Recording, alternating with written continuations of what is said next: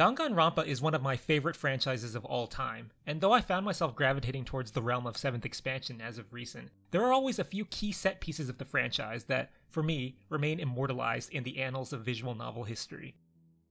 It's been quite a number of years since the Danganronpa games were initially localized, which is around the time I first played both Danganronpa 1 and 2, and no matter how much new Danganronpa content springs up, be it sequels, spin offs, or animated adaptations, I constantly find myself reminiscing about Chapter 5 of Danganronpa 2 as what I consider to be a perfectly crafted and executed murder mystery scenario. Kazutaka Kodaka's crowning achievement, which transcends the franchise in medium and leaves its mark as one of the greatest vignettes to ever grace the genre of crime fiction. Aptly titled Smile at Hope in the Name of Despair, Chapter 5 opens with a daily life unusually drenched in an oppressively dreary, overcast atmosphere, pretending a particularly grim and sobering deadly life and boy does it deliver, slowly building to a trial full of thrills, twists, and emotional turmoil. And even managing to slip in a bit of Danganronpa's characteristically pitch black humor, superbly juxtaposed against an onslaught of blisteringly nail biting drama, as is par for the course for the series. And at the center of it all is the game's most memorable and domineering personality, arguably one of the greatest characters Kodaka has ever created Nagito Komaeda. Nagito is a rather interesting specimen, having lived an abnormal existence to say the least, as he is both blessed and cursed with his talent of ultimate luck, whereby his life is inextricably tethered to an endless cycle of fortune and misfortune. This unique affliction and its accompanying trauma has caused his worldview to become horribly distorted, perceiving the dynamics of any situation he comes across as a never ending back and forth struggle between hope and despair. This leads to his desire to navigate the peaks and troughs of his ever vacillating luck, by repeatedly aiming to plunge himself and everyone around him into despair as a gesture of kindness, insisting that the depths of despair will yield unbridled hope in the end. One aspect about Nagito that I find particularly compelling, and that I believe Kodaka did an exceptional and clever job handling, is the evolution of his role within the narrative as it steadily progresses. The reveal of Nagito's true colors in Chapter 1, having surreptitiously masterminded the murder which kicked off the killing game proper, inevitably primes the reader to be laser focused on his every word and every action going forward. So, as the author, the natural response is to subvert those expectations by having Nagito adopt a more subdued role going forward something which is accomplished ingeniously by placing him in the role occupied by Kirigiri in the previous game, as the protagonist's right hand man, working in concert with Hajime to ensure that the trial proceeds towards some semblance of a coherent conclusion.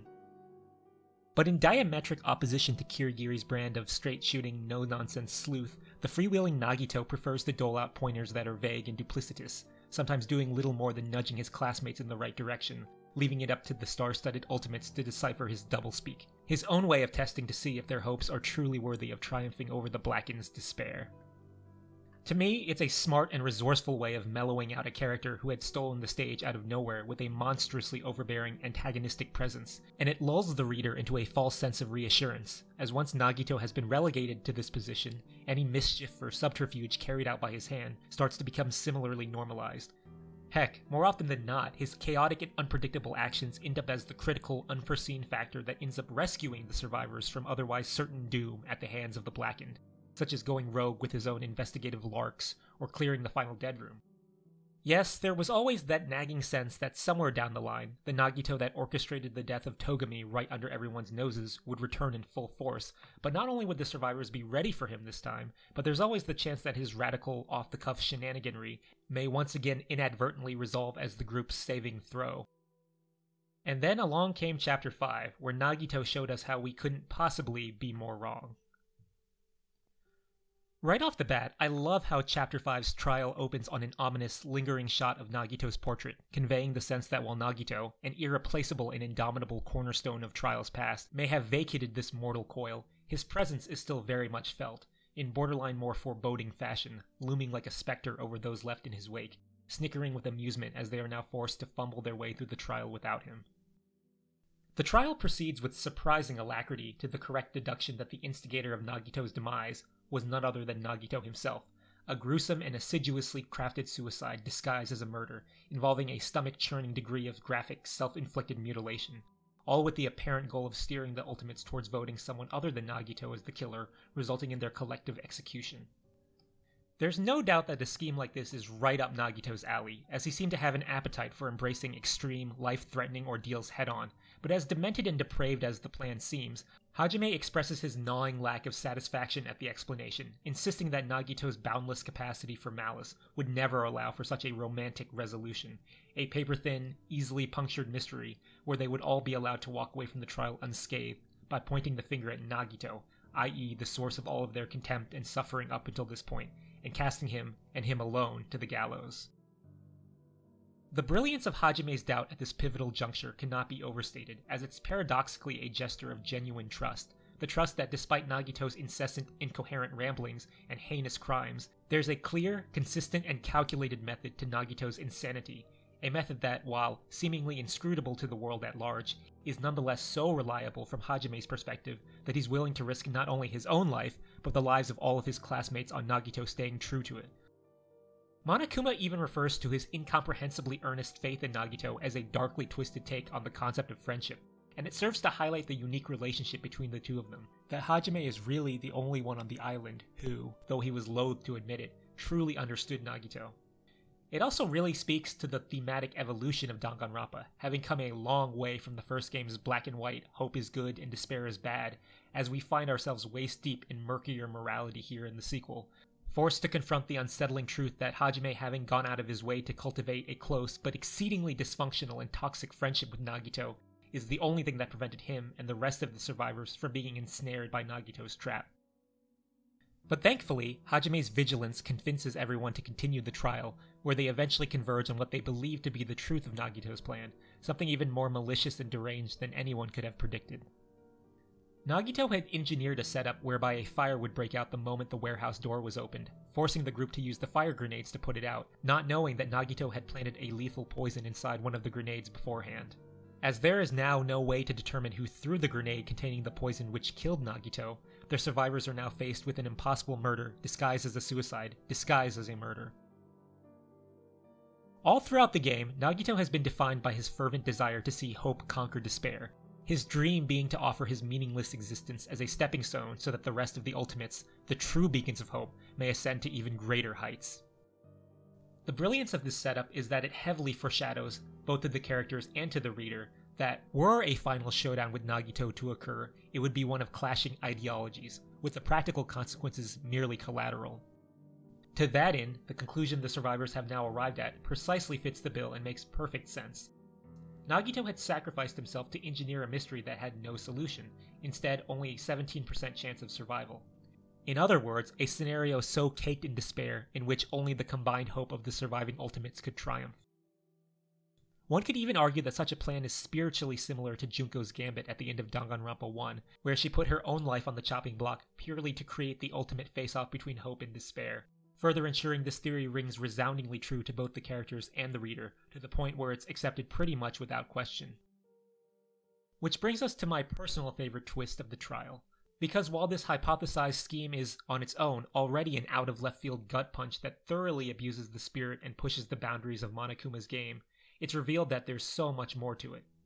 Yes, it's a scheme that is undeniably aggressively Nagito esque, anchored by his impassioned ideological preachings and his pathological penchant for malevolence and mayhem, but it's ultimately revealed to be Nagito's final feint. The brilliance here is that the tenets of Nagito's principles are so indelibly instilled in the minds of everyone, characters and reader alike, that it's so easy to overlook Nagito's vociferous desire to expose the traitor, something that had been reinforced over and over again throughout the chapter. Heck, Monokuma even makes mention of it during his opening speech, which, at this point in the trial, seems like eons ago. Like any good twist, it preys on audience expectation. In this case, the expectations of characters staunchly adhering to their principles in critical moments of conflict and adversity, which is all well and good in the name of drama, but it sometimes has rationality take a backseat in service of conveying a grander philosophical point, an obvious example being Junko's aforementioned gambit. Ever the maverick, Nagito, whose identity has basically been defined by his rampant pontifications, instead chose to go out with a bang using a plan concocted by someone of perfectly sound mind. Enterprising and fiendish, yes, but inarguably perfectly sound. His goal was to take advantage of the rules of the killing game to rid the world of all the remnants of despair, including himself, sparing only the traitor.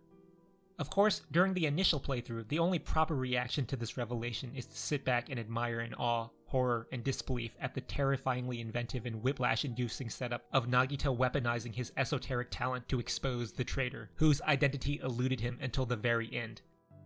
But upon reflection, I find I'm much more impressed by and drawn to the ingeniously multi layered deception, both Nagito's double nested trap within a trap, and Kodaka's deception of the audience, reapportioning Nagito's warped ideology to enable such a shockingly straightforward, self righteous, and even self serving goal. But in the end, it doesn't compromise the Nagito we've all come to know throughout the game. The plan still remains faithful to his identity, as his sacrifice would pin him as the foundational stepping stone for the brightest hope, the survival of the traitor at the cost of the lives of the remnants of despair, thus ensuring that his name is forever enshrined as the ultimate hope. And while I personally hold this revelation to be the zenith of the scenario, there's still somehow an entire arc left to resolve as the trial careens like a car crash towards its bittersweet conclusion. Chiaki's desire to protect the survivors as her role dictates allows her to overturn Nagito's master plan, but the final brutal twist of the dagger is that it's ultimately up to Hajime to prove to everyone that she is, in fact, the traitor, thus condemning her to death and bringing the trial to a close on an emotionally resonant and absolutely gut wrenching note. While the entire resolution is suitably drenched in heartbreak and sorrow, my favorite part of Chiaki's farewell is how she optimistically reframes her classmates' would be condemnation as an expression of trust that the group is able to live on by believing in their friend instead of doubting them, meaning that, through her sacrifice, the remaining survivors are able to triumphantly shatter the sadistic foundation of Monokuma's killing game once and for all. Chapter 5 by no means comes out on top in every category, as some scenarios are far more mechanically convoluted, such as the Funhouse murder that comprised the chapter immediately preceding this one. Some are more ideologically scintillating, such as Kaito and Kokichi's tug of war for Shuichi's trust in V3's virtual world murder. Some yank more forcibly at the heartstrings, such as Kaede's tragic decision to go lone wolf at the outset of V3. Some went out in terms of sheer diabolical cleverness, such as Kokichi's plan to end the killing game by turning Monokuma's own rules against him in V3's own penultimate trial, and some, well, some just plain exist in their own bizarro dimension. But the death of Nagito strikes the perfect balance between all of the above, taking a complex but not over engineered setup that is founded on exploiting the codified rules of the killing game, and further obscuring it by recontextualizing the culprit's wicked philosophy and ambitions, forcing both the reader and the survivors to engage with and pick apart Nagito's disturbed psyche on a deeper level to reach the truth. For me, it's really the arc that perfectly encapsulates the essence of Danganronpa. A deceptively nuanced character study hidden beneath a theatrical psychopop veil of high stakes and maddening murder mystery. And wouldn't you know it, in the end, as a bonus, it even has the added benefit of demonstrating definitively that, without love, the truth cannot be seen.